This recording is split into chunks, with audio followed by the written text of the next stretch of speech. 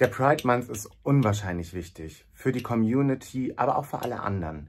Denn es geht dabei ja nicht nur um schwul und lesbisch, sondern es geht dabei einfach die Vielfalt zu feiern, die es schon immer in der menschlichen Kultur und auch in der Natur gegeben hat.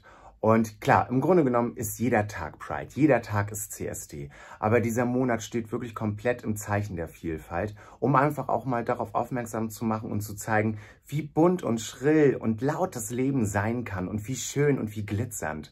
Aber auch tatsächlich, um auch nochmal darauf aufmerksam zu machen, ähm, was wir tatsächlich auch in den letzten Jahren erreicht haben, wo wir äh, tatsächlich bei vielen Dingen immer noch ganz, ganz weit hinten anstehen, wo wir immer noch kämpfen müssen und um auf die Probleme, die wir heute immer noch haben, aufmerksam zu machen. Es gibt leider immer noch viel zu viele junge Menschen, die sich das Leben nehmen, weil sie sich nicht trauen, ihre Persönlichkeit frei auszuleben.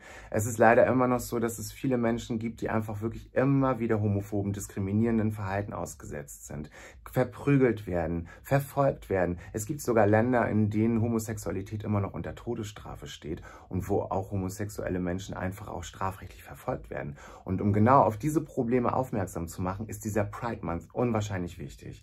Und gerade auch für die Menschen, die sich immer noch homophob verhalten, die sehen dann halt einfach, wie bunt und laut das Leben sein kann und wie schön und wie glitzernd und wie schrill. Aber sich vielleicht dann doch auch nochmal eher mit dem Thema beschäftigen und auch einfach nochmal lernen, damit umzugehen und ähm, auch nochmal zu akzeptieren, dass es das halt einfach schon immer gegeben hat. Und das muss natürlich ordentlich zelebriert werden. Und dafür ist der Pride Month unwahrscheinlich wichtig.